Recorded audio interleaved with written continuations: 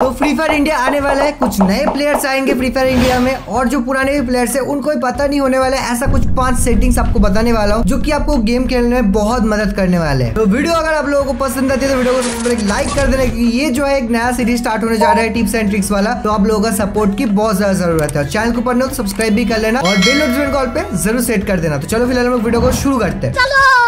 तो free fire खेलने वाले 90 परसेंट लोगों को पिंग के इशू होते ही है। हम सबको होते हैं। लेकिन क्या आपको पता है कि फ्री फायर के अंदर ही एक ऑप्शन है जिससे आपका पिंग इशू कुछ हद तक सही हो सकता है। पूरा तो सही कभी नहीं हो सकता है, लेकिन कुछ हद तक सही हो सकता है। कैसे? तो आपको सेटिंग्स के अंदर जाना है, फिर जाना है नेटवर्क पे। यहाँ पे आपको ऑप्टिमाइजेशन बोल के एक ऑप्शन मिलेगा। ये बेसिकली ऑफ़ रहेगा, आपको इसको ऑन करना है। इसमें क्या होता है कि आपको मोबाइल का डेटा और वाईफाई दोनों को ऑन रखना पड़ता है। तो फ्री फायर क्या करता है कि आपका मोबाइल डेटा और वाईफाई दोनों को एक साथ मिला के यूज़ करता है। इससे आपका पिंग कुछ हद तक कम और स्टेबल ज़्यादा देखने के लिए मिलता है पिंग इशू कम हो जाती है। अगर आपको स्पोर्ट्स में इंटरेस्ट है टूर्नामेंट खेलते हो, या फिर अगर आप अपने टीममेट्स के साथ खेलते हो तो आपको पता करनी है आपके टीममेट्स के बाद कौन सा वेस्ट है, कौन सा हेलमेट है, कितने किल करके रखा है, कौन सा गन उन्होंने ले रखा है तो आपको ये चीज़ पता चल सकता है। गेम के अंदर कैसे चलेगा, आपको उनसे पूछने की ज़रूरत नहीं है। सेटिंग्स पे जाना है कंट्रोल्स पे जाना है बी आर स्पोर्ट बोर्ड बोल के ऑप्शन मिलेगा, आपको इसको ऑन कर देना है। फिर आप जब गेम के अंदर जाओगे, आपके टीममेट्स के नेम आपको जहाँ पे दिखता है, वहाँ पे आपको टैप करना है। और उसके बाद आप गेम के अंदर उनके सारे डिटेल्स देख पाओगे। अब में से बहुत सारे लोग स्मूथ में स्टैंडर्ड में खेलते हो तो आपको दिक्कत होता है एनिमी का लोकेशन पता करने में कि एनिमी कौन सी साइड से हमको मार रहा है। नेक्स्ट जो दो ऑप्शन होने वाले आपको गेम प्ले इंप्रूव करने में बहुत हेल्प करने वाला है। तो आप लोग में से बहुत सारे लोग स्मूथ स्टैंडर्ड इन ग्राफिक्स के साथ खेलते हो तो आपको पता करने में बहुत दिक्कत होता है कि एनिमी कौन सी साइड से आपको मार रहा है। लेकिन ये चीज़ पता करने का एक बहुत सीक्रेट तरीका है। आपको सेटिंग्स के अंदर जाना है, आना है डिस्प्ले में और डिस्प्ले के अंदर आपको नीचे ऑप्शन देखने के लिए मिलेगा गन शॉट अलर्ट इसको आपको ऑन कर देना अगर ऑफ़ रहेगा तो। तो इससे आपको ग्लूअर लगाने भी हेल्प हो जाएगा और साथ ही साथ एनिमी कहाँ से आपको मार रहा है, ये भी आपको पता चल जाएगा। चौथा ऑप्शन आपको कुछ हद तक हैकर भी बना सकता है या फिर सामने वाला सोचेगा, भाई, इसको तो मैं मारने वाला था, इसने मेरे को कैसे मार दिया? पहले कैसे पता चल गया इसको? तो ये क्या ऑप्शन है इस ऑप्शन से आपको पता चल जाएगा कि आपके आसपास एनिमी है। ये बहुत इंपॉर्टेंट ऑप्शन है और ये गेम प्ले इंप्रूव करने में बहुत ज़्यादा हेल्प करता है। तो ये ऑप्शन को आपको कैसे यूज़ करना है? तो ये ऑप्शन को यूज़ करने के लिए आपको फिर एक बार सेटिंग्स पे जाना है, फिर आना है वाइब्रेशन वाले ऑप्शन के अंदर, फिर आपको साउंड वाइब्रेशन को ऑन करना है और फुट स्टेप वाला ऑप्शन को आपको ऑन कर देना है। बाकी सारे ऑप्शन को आपको ऑफ़ रखना है। इससे क्या होगा? इससे आपके आसपास जब भी कोई एनिमी आएगा, आपका फ़ोन धीरे धीरे वाइब्रेट करेगा और आपको बता देगा कि भाई, तेरे आसपास अब बंदा आ चुका है, तेरे को अब चौकन्ना रहना है, मारना है सामने वाले को। आपको फिर कोई भी प्लेयर सरप्राइज़ नहीं कर पाएगा कि छुप के बैठा होगा अचानक से जाओगे, आपको मार देगा। ऐसा नहीं कर पाएगा। क्योंकि आपको पहले से ही वाइब्रेट होगा और आपका फ़ोन आपको बता देगा कि भाई सामने एनिमी है। तो वीडियो अगर पसंद आ रही है, सबसे पहले लाइक करो, दोस्तों शेयर करो उनको भी बताओ। लास्ट ऑप्शन आपको हेल्प करने वाला है मूवमेंट में। तो गाइस देखो, आप लोगों को पता होगा कि जब हम लोग क्लैश स्क्वाड खेलते हैं तो हमको ज़्यादा बेटर मूवमेंट देखने के लिए मिलता है। जब बी आर रैंक खेलते हैं, उतना अच्छा मूवमेंट हमको नहीं मिलता है। ऐसा क्या होता है? तो यहाँ पे बेसिक सा डिफरेंस होता है बैकपैक का। तो आप जो है अपने बैकपैक को हाइड कर सकते हो। बहुत सारे लोगों को इस ऑप्शन के बारे में पता नहीं है। तो आपको इसके लिए आपके वॉल्ट सेक्शन में जाना है। फिर आपको कलेक्शन वाले सेक्शन पे जाना है और बैकपैक को सिलेक्ट करना है। फिर नीचे लेफ़्ट साइड के कॉर्नर पे आपको सेटिंग्स का आइकॉन मिलेगा। जहाँ पे आप देखोगे कि क्लैश कोड वाला ऑप्शन को भी आपको ऑफ़ करना है और साथ ही साथ अदर्स मोड वाला ऑप्शन भी आपको ऑफ़ कर देना है। इससे आपका बैकपैक गेम के अंदर हाइड हो जाएगा। तो आपका कैरेक्टर बहुत ही ज़्यादा मिनिमल लगेगा देखने में और मूवमेंट आपका बढ़ जाएगा। वैसे इससे फ़ायदा उतना ज़्यादा नहीं होता है, लेकिन हाँ जिनको थोड़े से फ़ायदे से भी फ़र्क पड़ता है, उनके लिए काफ़ी हेल्पफुल ऑप्शन होने वाला है। तो ये थे कुछ पाँच आइटम्स जो कि आपको प्रो तो नहीं बना सकते, लेकिन आपके गेम प्ले को और बेटर बनाने में हेल्प कर सकते हैं। गेम प्ले अपने प्रैक्टिस से आप अच्छा करो, लेकिन इन सारे ऑप्शन से आपका थोड़ा बहुत बेटर इंप्रूवमेंट देखने के लिए मिल सकता है। अगर आपको अच्छा लगा वीडियो तो वीडियो को शेयर करो दोस्तों के साथ। चैनल को पढ़ने और सब्सक्राइब कर लो। और मैं मिलता आपसे एक और नए वीडियो के साथ। Till then take care